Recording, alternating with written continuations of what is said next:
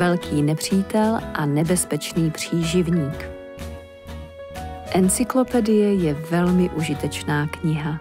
Bývá velká, silná a obsahuje mnoho informací a obrázků, například o houbách, léčivých rostlinách nebo o autech. Dědeček se za chvíli vrátil s jednou takovou encyklopedií v ruce, usadil se v křesle a soustředěně v ní listoval. Děti se zhlukly kolem něj a zvědavě si prohlíželi obrázky. Pod písmenem M našel dědeček název Majka Fialová a u něj obrázek zajímavého brouka. On se vlastně vetře včelám do úlu a krade jim zásoby, uvažoval Tomáš.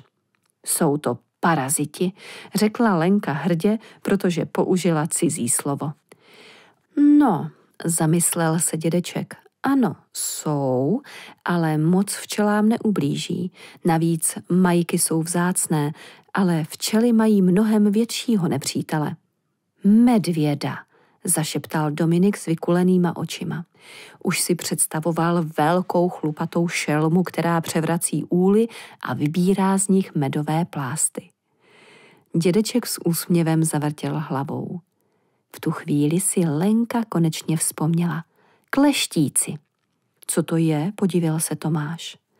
Přesně tak, kleštíci. Přestože i medvěd má rád med a občas pár úlů převrhne, nejnebezpečnější je kleštík včelí. Medvěd je velké zvíře, ale kleštík, latinsky se jmenuje varroa, je velký škůdce. Každý včelař musí pomáhat svým včelám zbavit se tohoto vetřelce, jinak by tu dlouho nepobyli. Dominik se podivil. Proč se včely nebrání sami?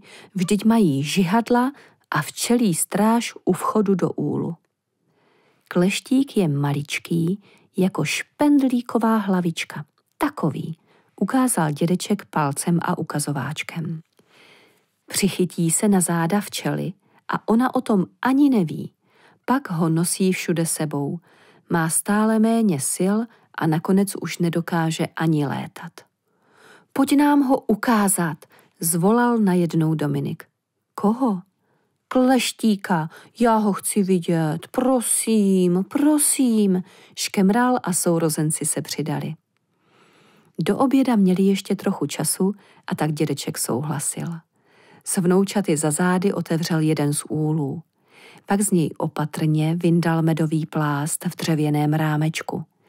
Chvíli soustředěně hleděl na množství hemžících se včel, dokud nenašel, co hledal. Jednu včelku opatrně chytil dvěma prsty za křehké tělíčko a vložil ji do připravené sklenice. Dominik se nedočkavě vytáhl na špičky. Počkejte, nejdříve já, protože já jsem to vymyslel. Za chviličku už společně pozorovali malou hnědou tečku na včelých zádíčkách. Mně se vůbec nelíbí, řekla Lenka. Dominik se tvářil zklamaně a zamumlal si pod nos. Podle mě je i tak nebezpečnější medvěd.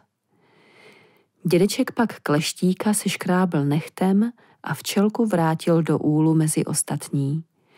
Ještě dlouho si všichni tři povídali o tom, co viděli. Od prarodičů odjížděli dost pozdě. Venku už byla tma a dětem se únavou zavírali oči.